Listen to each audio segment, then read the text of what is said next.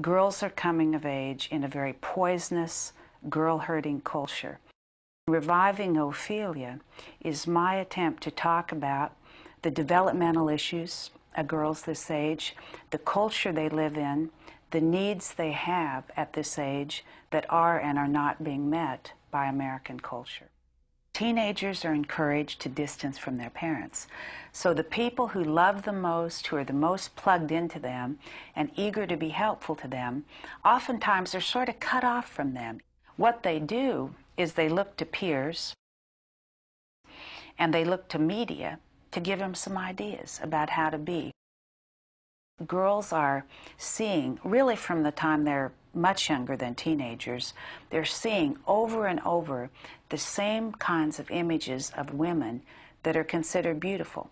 Those women tend to be thin, they tend to be very unnatural looking, they tend to often be very sexualized images of women. So that image is internalized, and what happens when that image is internalized is virtually all girls and women end up feeling inadequate. They end up feeling, I'm not pretty enough, I'm not thin enough, my skin isn't clear enough, and so on and so on. Another thing they feel about that is that this stuff is very important. I mean, it's not a sort of irrelevant thing, it's very important. Over the last 20 years, models have gotten thinner and thinner and thinner. And so the average height of a model is 5'10, 5'11. Their weight's about 110 pounds. They will get no thinner the height weight of models has leveled out, not for any positive reason, but because if they get any thinner, they can't be healthy enough to show up for photo shoots and work. So they have gotten thinner and thinner. Meanwhile, the weight of real women has increased. And so the disparity between how our culture defines beautiful and, and how real women look has gotten greater. When we define beauty in such an unnatural way, young girls do very unnatural things to be thin.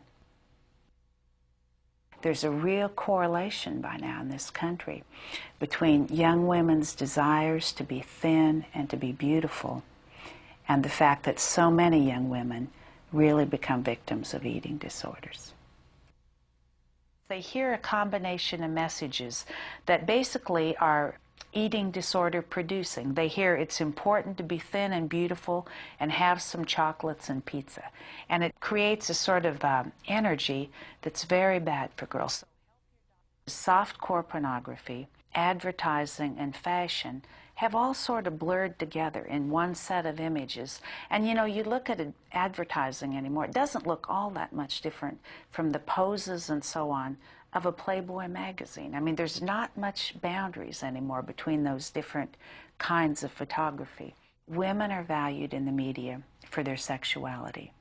And particularly the way this affects young teenagers is they think it's very important to be sexually attractive or if they aren't sexually attractive, or if they're afraid of being sexual and sexually attractive, they feel badly about themselves because they aren't more sexual. They feel like they're left out of the really important stuff that's happening for teenagers.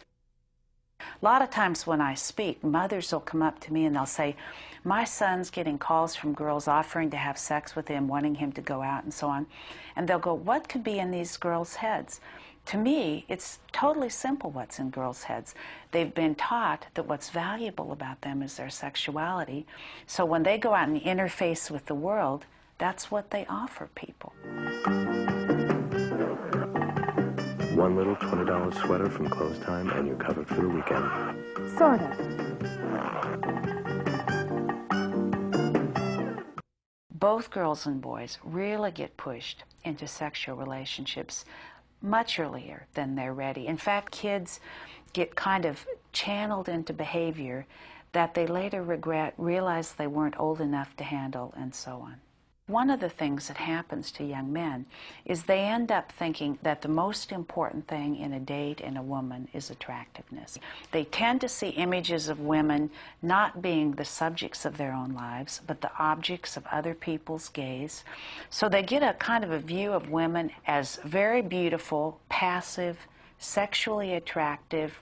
So it socializes men to think about potential mates, potential partners, not in terms of their sense of humor or character or common interests, but in terms of their breast size and the shape they have and so on and so on.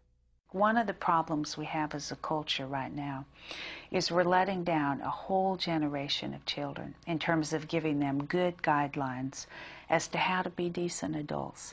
And they will suffer and we will suffer because of our failure to give children good advice on growing up. Cultural change is a million acts of individual courage, and kindness.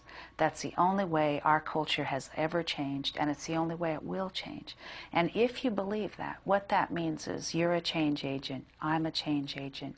We can be working every day by the way we relate to the people we come in contact with to make a very different culture, person by person, community by community.